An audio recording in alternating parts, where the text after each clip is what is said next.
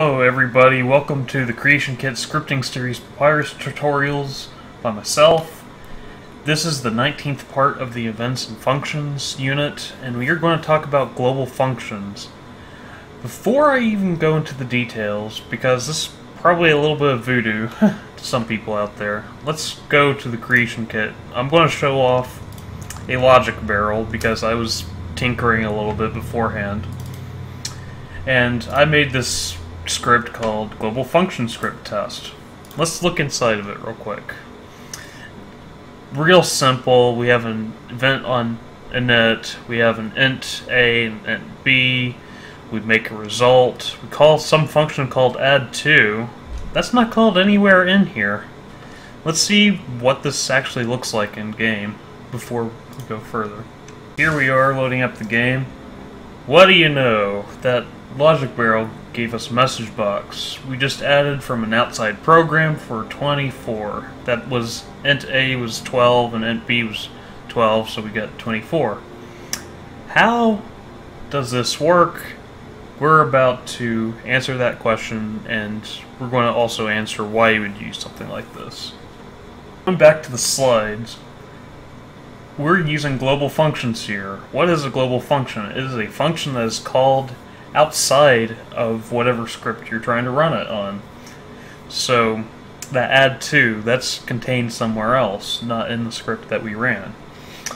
The so global functions are not attached to objects as we saw, and you can't use some of the special keywords uh, self. You can't have anything game specific. Well, you can have some stuff game specific, but nothing that actually relies on referencing stuff because it's a library, essentially, that's going to contain all these things that are global functions. And you're going to have more than one script potentially calling them. And you can also make this so somebody else can download it, use it in their mods. It's a great modder resource potential here.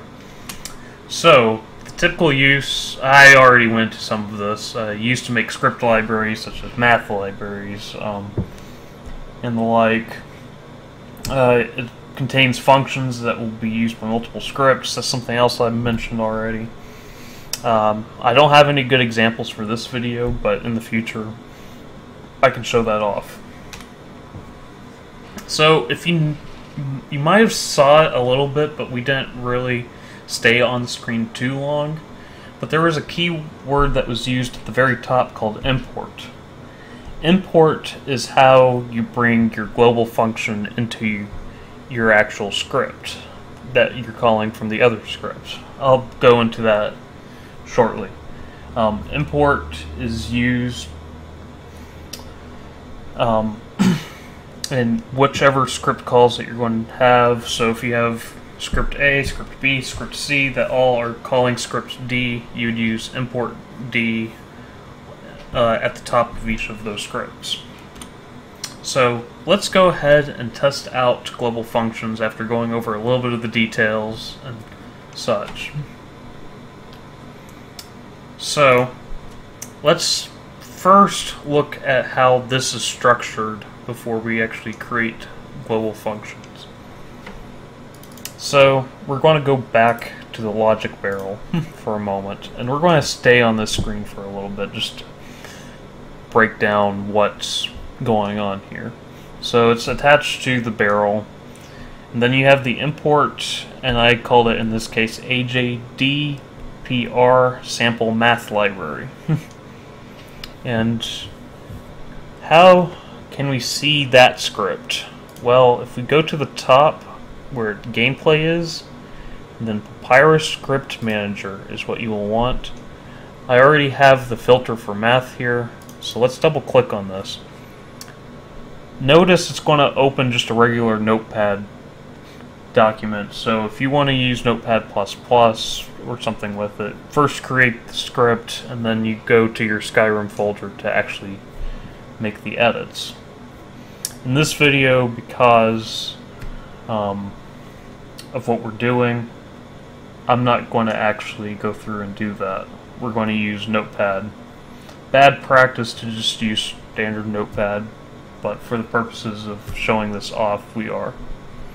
So, notice there's also some imports in here, so you can import from other global libraries out there. And then we have the add2 function. It just takes in an integer and another integer, and it returns both of those added together. Notice here we have the global keyword. This is how you declare a global function. So let's create our own. We're going to pick on factorial this time. So, purpose of this function is going to be taking a desired value and returning the factorial of it. Parameters is going to be the desired value. We're going to work backwards in recursion for this one. Returns the factorial value.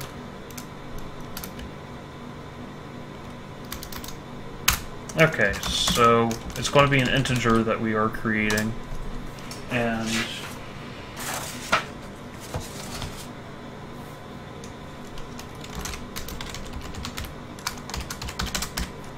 we're going to call it n here, and then let's just say global.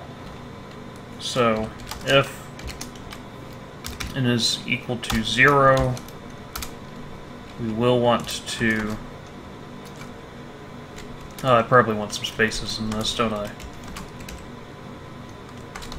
We want to return one, else... Well, we don't want the else yet, actually. We want to make the other base case because the values of 0 and the values of 1, they're both going to return 1. But we don't necessarily need one in here. We can if we want to. But I'm just going to go back to the else. I just wanted to show that off, though.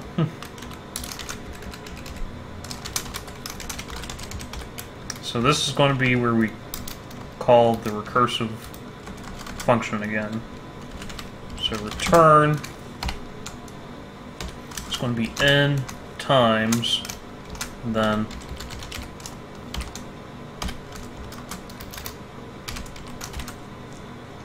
factorial n minus 1 and here we want to save. Notice you don't have any compiler or anything like this because we're in notepad++ right now. So if we want to actually compile this we're going to right click on our script navigate to compile and it told us it succeeded for that blip that you saw it on the screen. So now that we have that, notice we are referencing the math library here. So, let's do an n of 5. int factorial 5 and we're going to say factorial of n. And we're going to create a message for a message box.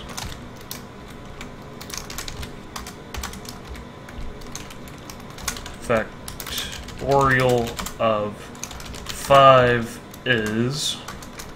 And then we're going to add on uh, if I can type factorial of 5. Notice, it's really simple. You don't have any functions called in here because we declared it inside the sample math library that we just created. So let's go down here and add our second message box that will show up in the game.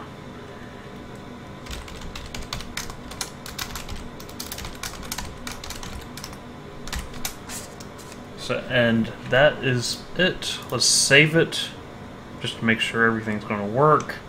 Voila. So this should work in the game, and I will see everybody in the game so we can test out the factorial function. Here we are loading the game up again. We're going to see different message boxes appear this time. So we have our add by 2, and then we have the factorial of 5 that has appeared, and that is the correct result. So, there you go. You can use this for anything that you need to calculate if you had some sort of gold calculation formula or something like that that uses an items-based value, you could do something like that. Or if you wanted to calculate what the weather should be, there's a plethora of things that you can do and have it common to use throughout your uh, scripting experience that you will need to deliver whatever mod you're making. And now we're going to go to the end of the slides to wrap up what we've just covered.